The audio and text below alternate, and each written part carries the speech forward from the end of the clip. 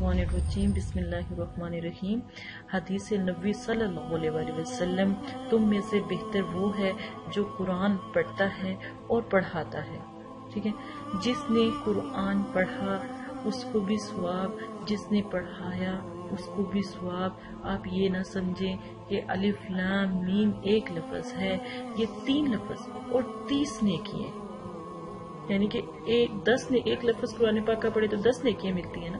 تو یہاں پر تیس نیکیاں ملتی ہیں۔ ٹھیک ہے؟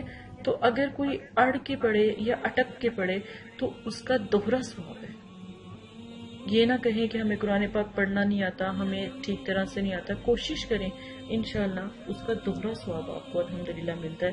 ایک دفعہ یہ ضرور جو ہے احادیث لوگوں تک پہنچ جائیں تاکہ جو لوگ قرآن نہیں پڑھ سکتے یا قرآن پڑھتے ہوئے انہیں پریشانی ہوتی ہے یا کوئی مسئلہ ہوتا ہے، تو ضرور ان کی جو پریشانی ختم ہوگی۔ آج جو میں آپ کو وظیفہ بتانے لگی ہوں بہت پیارا ہے۔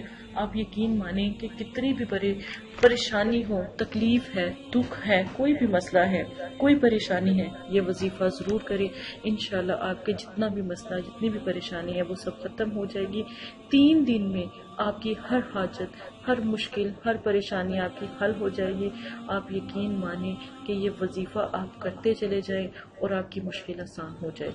چھوٹا سا وظیفہ ہے کوئی اس میں آپ کو میں نفل نہیں کہوں گی، کوئی میں آپ کو اس کو یہ نہیں کہوں گی کہ آپ کوئی سجدے میں جا کر کوئی دعا کرے صرف بیٹھے ہوئے، بیٹھے ہیں، بیٹھے کر لیں، لیٹے ہیں، لیٹ کے کر لیں۔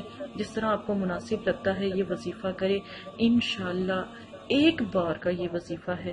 جو آپ کی جتنی بھی پریشانیاں دکھ تکلیفیں ہیں جو حل کر دے گا۔ صرف ایک بار کرنے سے حاجت ہر قسم کی مقصد آپ کا پورا ہوگا اور صرف ایک دن کا عمل ہے، یہ ضرور کریں۔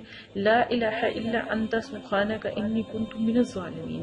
آیت کریمہ ہے یہ، آپ یہ پڑھیں، انشاءاللہ اللہ کے حکم سے آپ کا ایک دفعہ پڑھنے سے آپ کو دل کو سکون آئے گا۔ اور اگر آپ اس کو گیارہ مرتبہ پڑھتے ہیں، صرف گیارہ مرتبہ۔ تو یقین مانے، جو بھی آپ کی پریشانی ہے، جو بھی آپ کی مشکل ہے، بڑی سے بڑی پریشانی ہے، بڑی سے بڑی تکلیف ہے آپ کو، تو یہ ضرور پڑھے انشاءاللہ آپ کا مسئلہ حل ہو جائے گا۔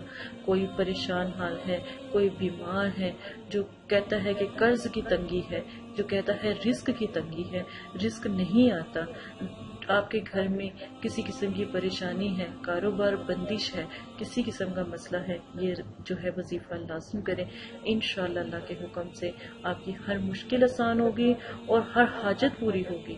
اور انشاءاللہ یہ وظیفہ آپ کسی بھی ٹائم، کسی بھی حاجت کے وقت آپ کر سکتے ہیں۔ یقین مانیں کہ اگر ایک پہلے دن یہ وظیفہ کرتے ہیں تو اگر آپ کی حاجت پڑی ہے تو پھر دوسرے دن بھی کریں۔ تیسرے دن انشاءاللہ آپ کی دعا بھی نہیں پوری ہوگی اور آپ کا مسئلہ مسئلہ حل ہو جائے گا۔ ایک دفعہ ضرور آزمائیں۔ ایک بار اپنی اس بہن کے کہنے پہ ضرور آزمائیں۔ کسی کے ساتھ اجازت دیں، اپنا خیال رکھیے گا۔ اگر کوئی مسئلہ ہے، پریشانی ہے تو اپنی بہن سے شیئر کر سکتے ہیں اور انشاءاللہ آپ کی بہن یہ ضرور آپ کی مدد کرے گی۔